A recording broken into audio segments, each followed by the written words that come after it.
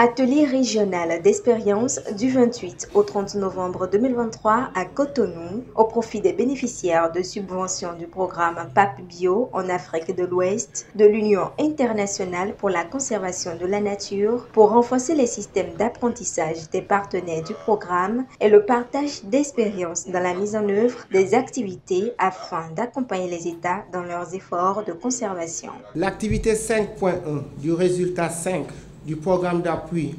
pour la conservation de la biodiversité et les écosystèmes fragiles à la gouvernance régionale et au changement climatique en Afrique de l'Ouest, PAC Bio,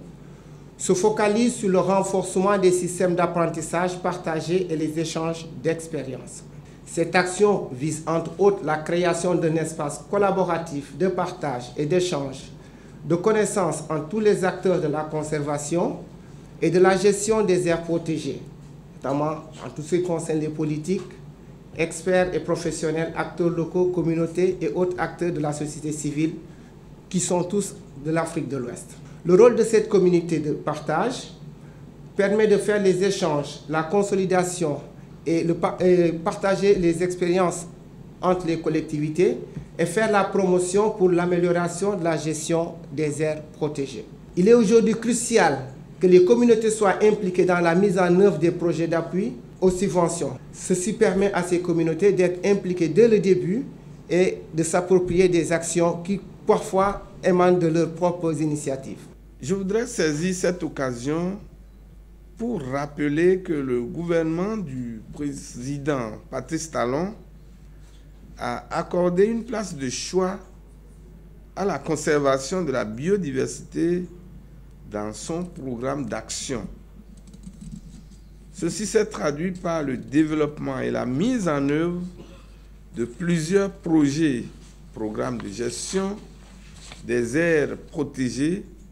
et des forêts. L'objectif de cet atelier est de permettre aux bénéficiaires d'échanger sur les expériences acquises, les méthodologies pour capitaliser sur les réussites et les échecs. Cet atelier servira de base de capitalisation, sachant que le projet PAPBio va bientôt finir en fin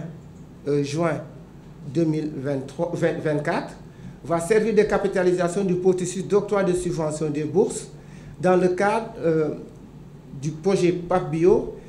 d'en identifier les bonnes pratiques, mais aussi les échecs qui pourront être pris comme des leçons pour améliorer euh, les prochaines étapes. Rémi Refouma, directeur général de la direction des eaux, forêts et chasses, venu représenter le ministre du cadre de vie et des transports en charge du développement durable, saisit cette occasion pour dire ses attentes et espérances. J'espère que les Béninois qui sont ici et qui sont venus de diverses structures,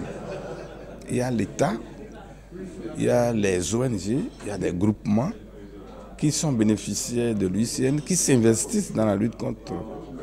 la criminalité phonique et floristique, que tous ces participants repartent avec beaucoup plus d'acquis pour être encore plus forts, euh, tirant leçon donc des expériences des uns et des autres. J'espère également que l'UICN va continuer de nous accompagner. Nous souhaitons toujours continuer de bénéficier de l'accompagnement de l'UICN pour qu'in fine, euh, un peu comme les autres pays de l'Afrique de l'Ouest, nous puissions être beaucoup plus aguerris, plus équipés pour euh, mener cette lutte qui est une lutte à multiples facettes. Nous espérons que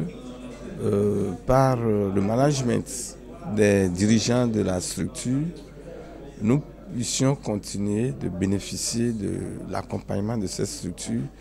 qui est d'une très grande importance pour la préservation de la biodiversité dans la sous-région et pourquoi pas en Afrique tout entière. Pour rappel, dans cette même dynamique, deux ateliers régionaux de partage d'expériences ont été déjà organisés. Un à Niamey en novembre 2021 et un autre à Cotonou en mai 2023.